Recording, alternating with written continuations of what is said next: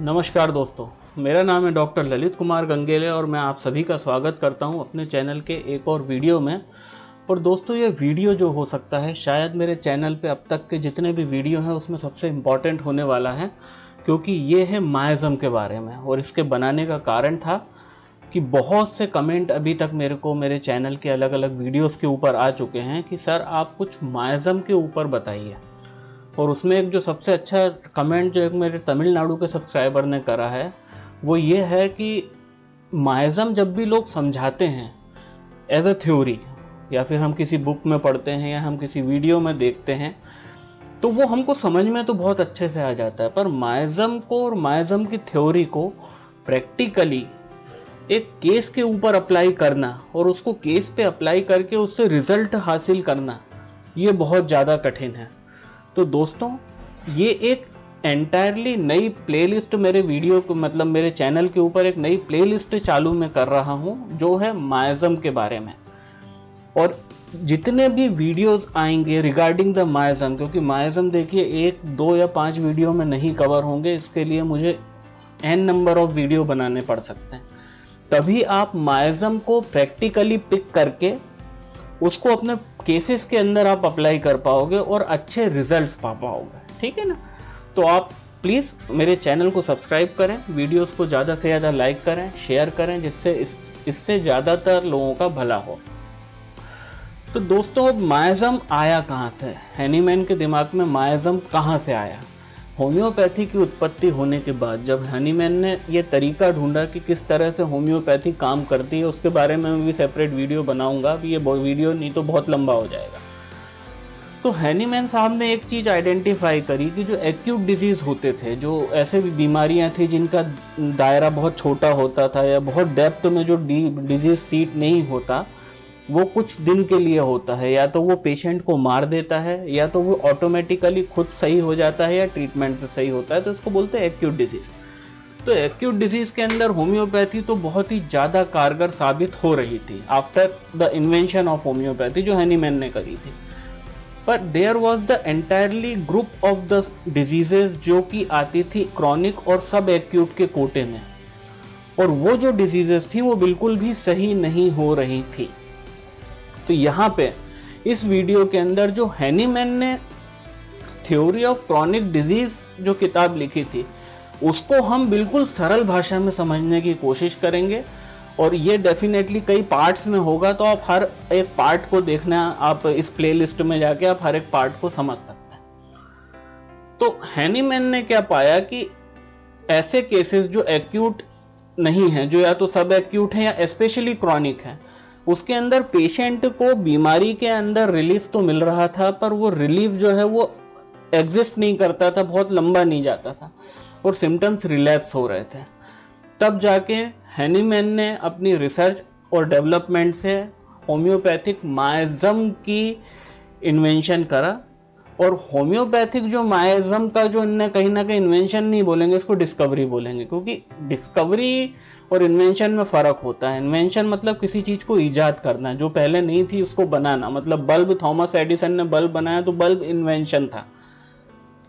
पर न्यूटन ने theory of gravitation दिया तो ये डिस्कवरी थी, क्योंकि थ्योरी ऑफ़ ग्रेविटेशन तो जब से प्रकृति बनी है, तब से ग्रेविटेशन फोर्स काम कर रहा है। पर लोगों को उसके बारे में नहीं पता था तो इसको बोलते हैं डिस्कवर करना।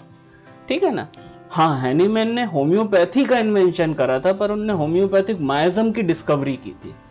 डिस्कवरी मतलब कवर हटाना। कोई एक सिद्धांत जो प्रकृति में पहले से है, उसके ऊपर से कवर को हटाना या उसको दुनिया के सामने लाने को डिस्कवरी बोलते हैं।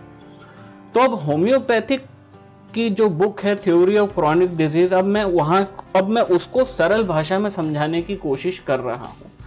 तो जब होम्योपैथी के अंदर हैनीमैन ने माइजम की खोज करी और सोरा माइजम को बताया मदर ऑफ़ ऑल माइजम तो पहली चीज़ तो हमको मायाजम समझना है। मायाजम के बारे में सबको पता है। तीन बेसिक मायाजम होते हैं, दो एक्सेसरीज मायाजम होते हैं। बेसिक मायाजम के अंदर सोरा है सिफिलिस है साइकोसिस है। और एक्सेसरी मायाजम के अंदर ट्यूबरकुलर और कैंसरस मायाजम भी बताया गया ये अपन सारे मायाजम आने वाले दिनों के अंदर सेपरेटली डिस्कस करेंगे, पर अभी अपन बात कर रहे हैं कि थ्योरी ऑफ़ क्रॉनिक डिज़ीज़ और मायाजम की इवोल्यूशन की थ्योरी कि हाउ माइजम इवॉल्व माइजम का इवोल्यूशन कैसे हुआ? तो थ्योरी ऑफ़ क्रॉनिक डिज़ीज़ के अंदर हैनीमैन ने साफ़ ये बात बताई है कि 1700 या 1500 फिफ्टीन सेंचुरी के अंदर 1500 ईस्वी के आसपास, होता क्या था कि there was the one disease which is communicable that was known as the leprosy और ये जो लेप्रोसी था, ये एंशियंट माइजम का पहला रूप हुआ करता था। मेरी बात समझिए कि जैसे आज हम ईच मतलब खुजली को सोरा माइजम से क्लब क्यों करते हैं, वो आप आगे समझ जाएँगे। इस वीडियो में अंत तक बने रहिएगा, बहुत इंपॉर्टेंट वीडियो है और मैं चैलेंज कर रहा हूँ, पूरे यूट्यूब के अंदर कोई आपको ये चीज़ नहीं बताने वाला कि भाई ये कैसे आया था। ठीक है ना? क्योंकि वो बुक बहुत कम लोगों ने उसको इतनी डेप्थ में पढ़ा है। ठीक है? तो पहले एंशियंट जो माइजम हुआ करता था that was in the form of leprosy अब जब वो लेप्रोसी में होता था तो लेप्रोसी जो एक बीमारी थी, कोड जिसको बोलते थे, उसका इन्फेक्शन एक पर्सन से दूसरे पर्सन में उतना फ्रिक्वेंटली नहीं हो रहा था। वो होता था, वो फैलती थी, पर उसका जो प्रपोगेशन अमॉन्ग द पॉपुलेशन था, वो इतना फास्ट नहीं था। अब देखिए, जिस तरह से मेडिकल साइंस ने क्रम विकास करा और उनने अपने एवोल्यूशन करके हमने नई नई टेक्निक्स का इजाद करा नए नए मोड ऑफ़ ट्रीटमेंट का इजाद करा, कि हम मानवता को बीमारी से बचा सकें। उसी तरह से बीमारियों ने भी अपना एक क्रम विकास करा, एक इवोल्यूशन करा, कि वो ज़्यादा से ज़्यादा मानव को बीमार कर सके। तो शुरू में ये जो माइजम था सोरा उसका फ़र्स्ट मैनिफेस्टेशन था in the form of leprosy या कोड़ पर जब लेप्रोसी में उसका मैनिफेस्टेशन होता था तो लोग जो है मेडिकल साइंस उसके प्रति बहुत सजग हो गया। सजग कैसे हो गया? कि भैया वो उन लोगों को आइडेंटिफाई करने लग गए, उससे एक सोशल उनने ईविल समझ लिया कि यार इसको कोड है, इसको आइसोलेट कर दो। तो तब क्या हुआ कि जब कोड शुरू शुरू में आया था, तब तो उसने करोड़ों की आबादी के अंदर लाखों लोगों को इन्फेक्ट करा, एक दूसरे से इन्फेक्ट होके कम्युनिकेबल डिज़ीज़ के रूप में। पर जब मॉडर्न मेडिसिन है उस जमाने की मेडिसिन के अंदर जब लोगों को ये पता चल गया कि यार ये तो कम्युनिकेबल है तो उनने लोगों को आइसोलेट करना शुरू करा। और जब आइसोलेट करना शुरू करा तो जो कोड था, उसका जो प्रयोजन था ज़्यादा से ज़्यादा लोगों को इन्फेक्ट करने का, वो नहीं हो पा रहा था पूरा। तो फिर प्रकृति ने इस डिज़ीज़ को, इस मायजम को मॉडिफाई कर दिया in the form of simple itch अब देखिए अपन, कि हम लोग आज की तारीख में जिस दुनिया में रह रहे हैं तो मतलब ये थ्योरी ये बताती है हैनीमैन ने मायजम को डिटेक्ट करने के बाद ये जो पार्ट जिसकी मैं बात कर रहा हूँ लेप्रोसी से मैंने चालू की, उससे ये बता रहे हैं कि किस तरह से सोरा जो था, वो पूरी की पूरी वर्ल्ड की पॉपुलेशन के अंदर उसका पैर उसने कैसे पसारा? हम यहाँ पे ये बात कर रहे हैं। तो जब साहब लेप्रोसी होती थी तो लेप्रोसी के अंदर क्या करते थे? पेशेंट को आइसोलेट कर देते थे, कहीं कुछ ऑइंटमेंट वगैरह से ट्रीट कर देते थे। तो उस मायजम ने, उस प्रिमिटिव मायजम ने, जो लेप्रोसी के फॉर्म में तब होता था और आज हम उसको सोरा के रूप में जानते हैं उसने अपना टाइप को बदल लिया। उसने वो जो है लेप्रोसी से चेंज होकर कहीं ना कहीं वो सिंपल ईच मतलब खुजली, या बहुत ही माइल्ड और हल्के फुल्के स्किन इरप्शन के अंदर वो आ गया।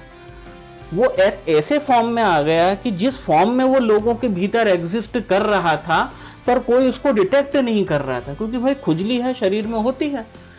और जब वो ईच के रूप में और इस तरह की कुछ छोटी स्किन डिज़ीज़ के रूप में उसने अपने आप को इवॉल्व करा, तब जाके वो ज़्यादा से ज़्यादा पॉपुलेशन के अंदर प्रपोगेट हो पाया in the form of psora इसलिए ईच और स्किन इरप्शन को सोरिक माइजम का प्राइमरी मैनिफेस्टेशन माना जाता है। तो यहाँ पे हैनीमैन ने इस बात को अच्छे से सिद्ध करा और पता लगाया कि भाई वो जो सोरा हुआ करता था तो सोरा ने अपने आप को डाउनग्रेड करके मतलब कम हार्मफुल सिम्टम के साथ उसने अपना रूप को बदला और वो जो रूप था, वो था in the form of simple itch और ये जो सिंपल ईच होती थी, जो खुजली होती थी, ये एक बंदे से दूसरे बंदे के अंदर कब कम्युनिकेट हो जाती थी, ये पता भी नहीं लगता था।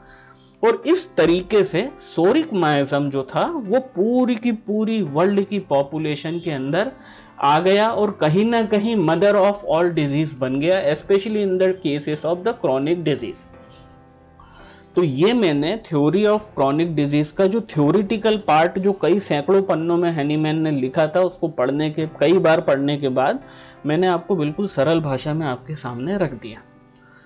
अब जब सोरिक माइजम एग्जिस्टेंस में आया तो देखिए इवोल्यूशन तो वो पहले भी कर रहा था कि वो पहले किस फॉर्म में था?